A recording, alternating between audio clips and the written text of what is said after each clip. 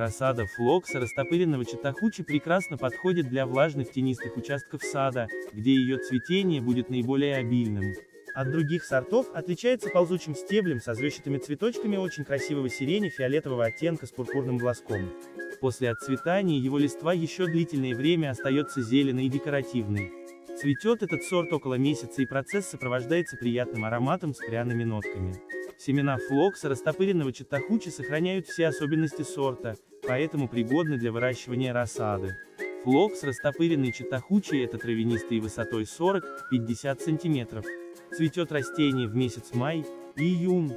Размер цветка этого прекрасного растения достигает 1,5-2,0 см.